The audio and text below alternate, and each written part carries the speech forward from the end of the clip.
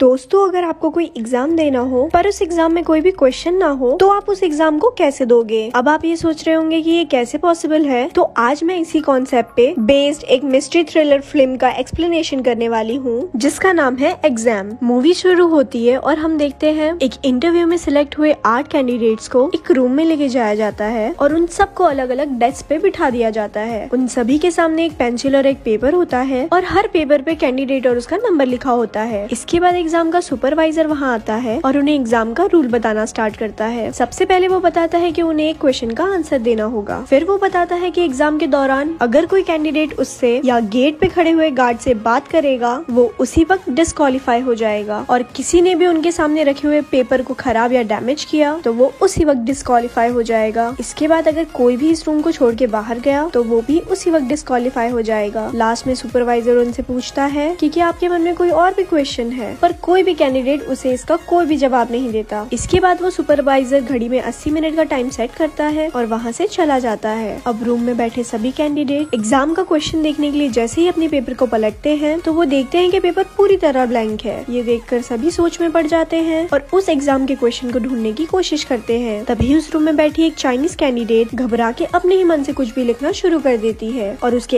ऐसा करते ही पेपर खराब हो जाता है और उसे उसी वक्त रूम से बाहर निकाल दिया जाता है अब ये देखते ही रूम में बाकी कैंडिडेट्स को ये समझ आ जाता है कि वो अपने मन से कुछ भी इस पेपर में लिख नहीं सकते थोड़ी देर बाद उस रूम में बैठा एक आदमी सुपरवाइजर की बातों को याद करता है और उसे पता चलता है की उस सुपरवाइजर ने उससे और गेट के पास खड़े हुए गार्ड से बात करने के लिए मना किया था मतलब वो लोग आपस में तो बात कर सकते हैं अब सभी लोग आपस में बातें करने लग जाते हैं और सभी मिलके उस एग्जाम का क्वेश्चन ढूंढने की कोशिश करते हैं सभी कैंडिडेट एक दूसरे को अपना नाम नहीं बता सकते थे इसीलिए उनमें से एक कैंडिडेट सभी के स्किन और बालों के कलर पे उनका एक निक नेम रखता है जिसपे वो खुद का नाम व्हाइट रखता है और बाकी का नाम ब्लैक ब्लॉन्ड ब्राउन ब्रूनेट और डार्क रखता है और लास्ट में बचे कैंडिडेट का नाम वो डेफ रखता है क्योंकि वो किसी से भी बात नहीं कर रहा था इसके बाद सभी लोग क्वेश्चन ढूंढने के लिए अलग अलग टेक्निक सोचते हैं सबसे पहले वो सोचते हैं क्वेश्चन पेपर में ही है पर वो इनविजिबल है इसीलिए वो उसे ढूंढने के लिए रूम के सारी लाइट को तोड़ देते हैं ताकि इमरजेंसी में लगी यूवी लाइट से पेपर में छुपे हुए क्वेश्चन को ढूंढ सके पर वो उसमें नाकाम रहते हैं इसके बाद वो सोचते हैं की शायद उस पेपर में पानी पानी डालने से वो क्वेश्चन विजिबल हो जाएगा पर वो इस कोशिश में भी नाकामयाब रहते हैं पर इसी बीच व्हाइट चालाकी से ब्रूनेट के पेपर में आग लगा देता है जिससे वो डिस्कालीफाई हो जाती है इसके बाद व्हाइट डेफ के पास आता है और उसे भी इस रूम को छोड़ के जाने के लिए मजबूर करता है और इसी के साथ ही डेफ भी डिस्कालीफाई हो जाता है इसके कुछ देर बाद व्हाइट सभी लोगो को बताता है की उसे क्वेश्चन का पता चल गया है पर वो इसे किसी को भी नहीं बताएगा अब व्हाइट की इसी बातों से ब्लैक बहुत ज्यादा चिड़ जाता है और वो व्हाइट को मुक्का मार के बेहोश कर देता है थोड़ी देर बाद जब व्हाइट वाइट को होश आता है तो वो सभी से रिक्वेस्ट करता है कि उसकी दवाई खाने का टाइम हो गया है इसलिए कोई भी उसके पॉकेट में से दवा निकाल के उसे खिला दे पर व्हाइट की पिछली हरकतों को देख के कोई भी उस पर भरोसा नहीं करता और सभी व्हाइट को उसी हालत में छोड़ देते हैं पर तभी ब्लॉन्ड व्हाइट पर तरस खा के उसकी मदद करने का सोचती है पर सभी उसे ऐसे करने से रोक देते हैं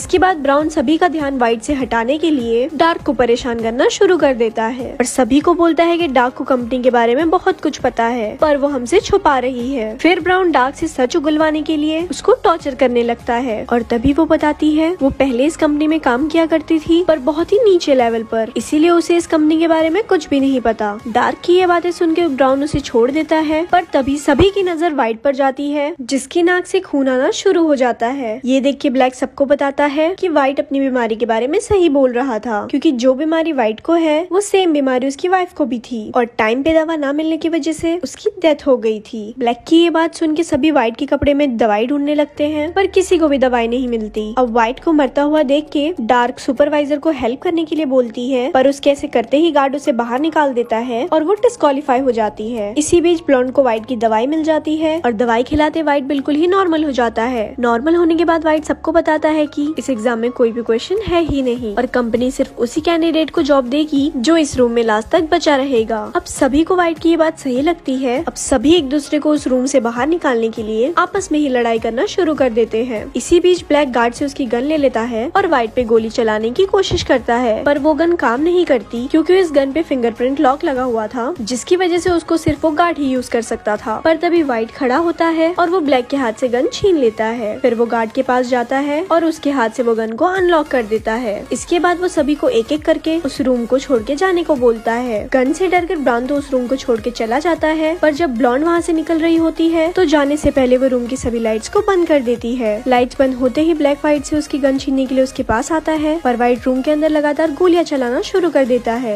जिस वजह से गोली जाके सीधा ब्लैक को लगती है और वो जमीन पे गिर के सीधा बेहोश हो जाता है इसके बाद व्हाइट की नजर डोर पे पड़ती है और वो देखता है की ब्लॉन्ड अभी भी पूरी तरह उस रूम से बाहर नहीं गई है उसका एक पैर अभी भी रूम के अंदर ही है फिर व्हाइट जैसे ही गन लेके ब्लॉन्ड की तरफ जाने लगता है तभी एग्जाम का टाइम कम्प्लीट हो जाता है अब व्हाइट को लगता है वो जीत चुका है इसीलिए वो एक्साइट होकर सुपरवाइजर से बातें करने लगता है पर तभी रूम का गार्ड वाइट के पास आता है और उसे अपनी घड़ी से टाइम दिखाता है जिसे देख के उसे पता चलता है कि एग्जाम खत्म होने में अभी भी टाइम बाकी है तभी हम व्यूवर्स को दिखाया जाता है कि जब सभी कैंडिडेट एग्जाम का क्वेश्चन ढूंढने के लिए अलग अलग तरीके ढूंढ रहे थे तभी डेफ ने एग्जाम की घड़ी को आगे कर दिया था अब व्हाइट को समझ आ जाता है की वो डिस्कालीफाई हो चुका है इसीलिए वो परेशान होकर खुद को गोली मारने की कोशिश करता है पर वो इसमें नाकाम रहता है क्यूँकी बंदूक में गोली नहीं होती और रूल ब्रेक करने की वजह ऐसी उसे उस रूम ऐसी बाहर निकाल दिया जाता है अब रूम में लास्ट बची हुई ब्लॉन्ड सोचने लगती है की वो क्वेश्चन का पता कैसे लगाए तभी उसे वहाँ डेफ का चश्मा गिरा हुआ मिलता है जिसे उठा के वो शीशे के टुकड़े के साथ डेस्क पे रखे हुए पेपर को वापस देखती है जिसमे उसे दिखता है की पेपर में सिर्फ क्वेश्चन नंबर वन ही लिखा हुआ है फिर प्लॉन्ट सुपरवाइजर की बातों को याद करने की कोशिश करती है और तब उसे पता चलता है की पूरे एग्जाम में सुपरवाइजर ने उनसे बस एक ही क्वेश्चन पूछा था जो एग्जाम शुरू होने से पहले पूछा गया था